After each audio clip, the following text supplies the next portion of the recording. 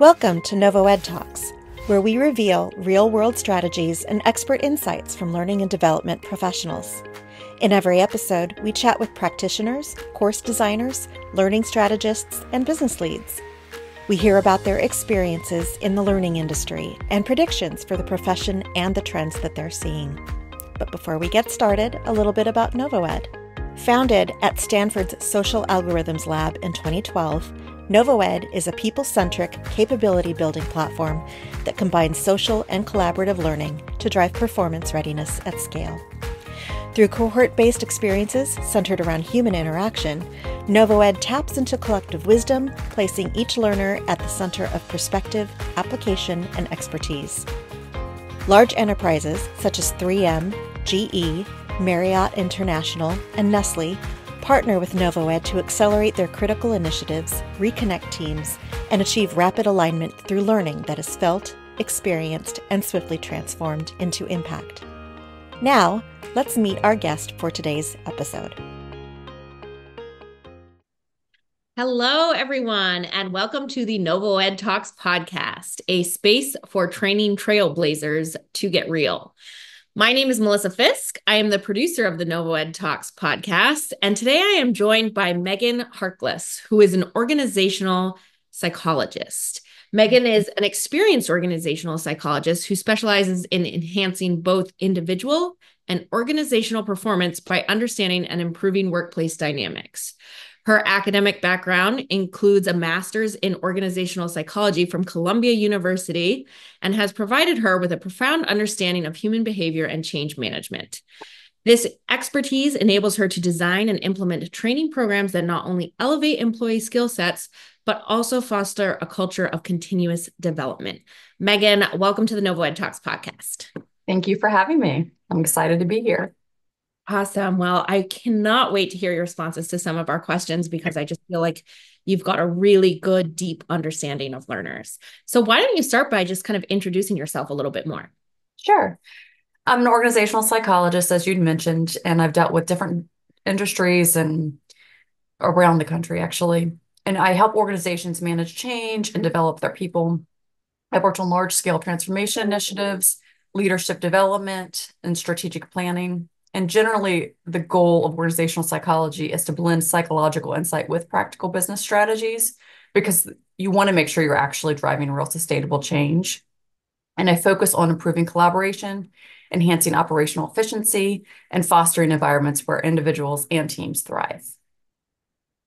I love that. I love that you're taking, you know, obviously the business work life environment, but taking like hey, how do humans actually work approach to it? And adapt. a lot of times people forget that, unfortunately. yes. they just, they're like, I want to hit this goal. It's like, well, you have to bring the people along too. Yes, a hundred percent. So I think your role is so important and so necessary. Um, can you speak a little bit to kind of who some of your learners have been in some of the work that you've done and what some of their biggest challenges have been? Sure. So the, the learners range from executives to leaders on the front line uh, across many sectors. And really the the largest issue generally comes from adapting to change. And that could be learning a new technology shifting an organizational culture enhancing leadership capabilities. All of that creates a lot of discomfort within employees and can make it hard to get to that next step. And so that's where i would come in. And many struggle with overcoming resistance to change or to manage the stress of the change or wanting to know how to foster an effective collaboration, especially as a lot of companies are going hybrid, remote, back to work, into office. It's it's changing at a rapid pace, and so that's those learners expand across many different platforms. Yeah, I bet. And how do you kind of approach some of those, or how do you suggest organizations approach those different types of challenges? Well, I think you have to make sure it's resonating with a diverse multi-generational workforce that's also aligned with the organization's broader goals. And that can be the challenge, really, because there are different needs dependent on your age, your experience, your background. And so a lot of times companies are trying to tackle this by using data-driven insights and they tailor their programs to that. And then what we try to do on top of that is combine psychological prin- principles with practical applications. A lot experiential, experiential, sorry, experiential learning is very effective because people can test things out and say this works or this doesn't work and then readjust. But it, there's always a nuance between reality and theory. And a lot of times things are good in theory, but you have to actually work out the nuances to make thing, make sure things are working in practice. Yeah. And then another challenge is also how do you measure long-term impact? Because that's specifically culture change could take a long time. And so you have to make sure that you're you're tracking that behavior and performance over time and checking in and seeing how that's adjusting, or you're not going to get a real um, insight into what's going on. Yeah, absolutely. I love that you mentioned that just like the long term like tracking as well, just because I think that's something that people, you know, just by nature of kind of the fast paced society we live in now, too, it's like everyone wants like results or answers are like, hey, I need to know where this is at in six months if I'm going to justify it or whatever. And it's like, hey, if you really want to see effective change, you kind of have to give it a little bit more time. yeah. And it, it, that's why it requires strategy because you need to be saying, okay, I know this is going to be hard. Is there going to be a dip? When does this start to go up? When are you checking in? And then over the course of time, you can see that these things start to build and improve. Yeah, absolutely. With the rise of remote work and virtual collaboration, how has kind of the approach to learning and development adapted, do you think, to ensure that employees are equipped with the necessary skills for some of these either entirely remote or hybrid workplaces? Yeah, it's it's been really interesting since COVID. And now we're going more back into the workplace in a lot of situations, but it's it's definitely forced us to have to focus on new skills. And so a lot of times remote work has required companies to focus on enhancing digital collaboration skills. Um, emotional tel- intelligence via and virtual environments is very important. And that was a skill that a lot of people didn't have before. You're reading the nuances of a face, or sometimes they're not even showing themselves, and you're listening to the, their voice and trying to understand what's being heard, what actions need to be taken, and what are our next steps. And then self management is really important in making sure you're giving employees that opportunity to develop that.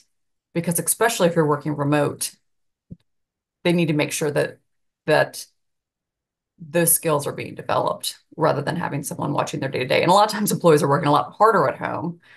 And so that's why they have to be able to manage their their time. Yeah, absolutely. Um, how do you suggest teams kind of identify and address skills gaps within their organization? There's a few things you can do. Uh, assessments are really helpful, especially as an organizational psychologist. We love assessments. You can do individual assessments, group assessments, and you can, it really helps you see where there's gaps and where you need to focus on developing, whether that be training or just a whole new goal system. 360 degree feedback is really great dependent on if you have people who are willing to give thorough feedback and the time they have to commit to that. But if you if you get 360 feedback you generally get more thorough feedback that you can act upon. And then organizational diagnostics that kind of say okay here are the skill gaps. Um, a lot of times when you use these methods then the companies can say okay we have technical competencies that need improvement but we also have soft skills like communication and adaptability that need to be improved. And how are we improving those and that could be through training programs, coaching, mentorship initiatives, lots of different ways to make sure it's growing. So, yeah, absolutely. The communication one is a big one. I think that was something I've always worked remote. So I feel like I have a, a different, a little bit of a different perspective on that. But you notice that I feel like during COVID yeah. is how you just became very hyper aware of how people communicated or what they didn't communicate or things like yes. You were like, oh, wait. Yeah. And I, I, remember I I am very good at reading a room. That's a, a skill set that I'm, I'm very good at. And then having to become more remote, realizing that you needed to read the room in a very different way because you're reading it virtually. Yeah. And seeing what's landing, what's not landing, reading the facial expressions, or you know. Yeah. It's, it's a new world that's being developed at a really high high paced. Yeah. Way. Yeah, absolutely. Do you think that there are specific kind of like core KPIs that people should be reporting or tracking um, to measure the effectiveness of some of these programs? Specifically with organizational psychology, you're going to want to do both quantitative so it's it's both the hard data and stuff. And so hard data is easier obviously you're running the numbers saying if there's growth, but you, then that's when you need to be doing the assessments and checking and saying where are the soft skills weak and if, and if they're weak, how are you improving them and then checking over time. A lot of times those KPIs include key performance areas, employee engagement levels, retention rates. And then you look at those performance metrics and then you can say where do the interventions need to be. Mm-hmm. Another crucial me- measure is employee feedback and really listening to it and saying, okay, let's readjust or not readjust. Let's focus here because this is what we were told we were doing well. And then being open to, to continuing that feedback loop. And I see a lot of companies that are really moving in that direction of listening more so that they can make sure they're doing this in real time all the time versus one time a year. And yes. Yeah. I love that all the, in real time all the time, especially just with the way things are just so, you know, technology, new tools, new software is coming out at such a rapid pace. Like to have, you got to be checking it more than once a year. like, oh yeah, like because you've got to be seeing where people are at and, and what they, what they're doing, what they have found to do their jobs better, or what they found to make their jobs harder, or things like that. And so readjust. So yeah. part of the issue with one time a year is that even if you think you're analyzing a whole year, you're not. You're analyzing last few months, people generally don't have the ability to reflect back on an entire 12 months. And so you're really only focusing on this that last quarter anyway. And so mm-hmm. you want to be like, where are we at at each step of the way so that you don't lose all of that time to readjust before you're too far in the hole of not hitting the goals that you're you're chasing. I love that. I think that's so important and such a good message. Um, do you have an example of a successful case study from an organization or just from um, some of the work that you've done of an L&D initiative that significantly impact, ooh, excuse me, impacted employee performance and contributed contributed to the overall success of an organization? Yeah, we've done right currently right now I'm um, working with developing change agent program which has been really effective in helping develop skills to move through difficult changes. But one that I'm thinking about even more is that a few years ago we did a leadership training program or developed this program that combined public speaking, financial acumen, and leadership soft skills. And it went over the course of a year and it was different segments. And it was also about building a team so that there was a, a resource group of people that you can rely on as you go through this development.